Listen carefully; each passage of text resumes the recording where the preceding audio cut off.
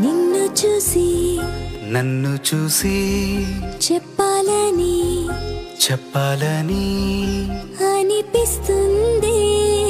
ఏమని? గతము తిరిగి రాదని రేపు అన్నదే లేదని ఇప్పుడే ఇప్పుడే నీకు నేనని గతము తిరిగి